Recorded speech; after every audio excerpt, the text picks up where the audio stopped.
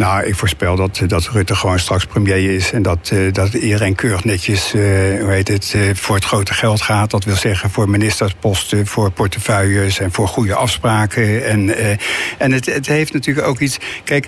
Ik, ik, begrijp wel dat, dat, dat er een soort verzadiging is in de richting van Rutte. Dat begrijp ik. Tien jaar lang dezelfde persoon. Dat, dat, uh, ja, dat is lang. Is in een relatie al ingewikkeld. Maar, de, nee, maar tien jaar lang, dat, dat, dat, dat, dat, dat, dat, dat, dat, zo iemand slijt natuurlijk. Hè. En, en, en de anderen raken op hem uitgekeken. Het zijn allemaal persoonlijke kwesties ook. Hè. Zo, zo simpel is het. Het is niet altijd grote politiek. Ik vind persoonlijk dat er, dat er of ik vind dat het veel te persoonlijk gemaakt wordt. Uh, veel principiëler is om te spreken over de bestuurscultuur die er is. Hè. De kwestie omzicht en de toeslagenaffaire laten iets zien van een bestuurscultuur. Nou, daar moet je het over hebben. En daar moet je, het, daar moet je niet een persoon op aanspreken, maar dan moet je, laten we zeggen, de cultuur waarin je zelf medeplichtig bent. Segers kan dan op een gegeven moment zeggen: ja, ik ga niet met Rutte samenwerken. Maar hij heeft verdorie vier jaar lang niks gezegd. Ja, dus wat, wat, wat, wat is dan. Uh, dat is toch gek? Ik bedoel, ja, maar misschien heeft hij wel gezegd, maar dat was dan intern. Hè? Dat weten we natuurlijk ook niet.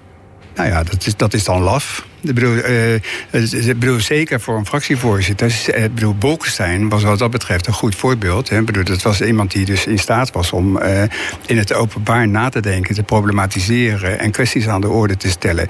En als Segers dit op het laatste moment uh, meldt en vier jaar lang dat niet heeft, aan de orde heeft gesteld, en plein publiek ja, vind ik, dat, vind ik dan een tekortkoming. Dus ik zou, ik zou zelf... Maar is dat niet precies ook de kern inderdaad van wat jij daarvoor ook al zei... over dat die, ja, alles is dichtgetimmerd in de regeerakkoord... dus al die Kamerleden hebben bijna niks meer te zeggen. En eigenlijk hebben die Kamerleden, dus zelfs die fractievoorzitter... zoals ja. Segers van een coalitiepartij ja. notabene... die mag zelfs geen openlijke kritiek uiten. Ja. Nou, dat heb het, is je... niet, het is not dan, toch? Nee, dat heb je wel scherp uh, met elkaar verbonden. Want dat, dat is ook zo. Ik, bedoel, het, ik heb natuurlijk een aantal jaren... In, in de, nou, een respectabel aantal jaren in de Kamer gezeten... en in de Eerste Kamer.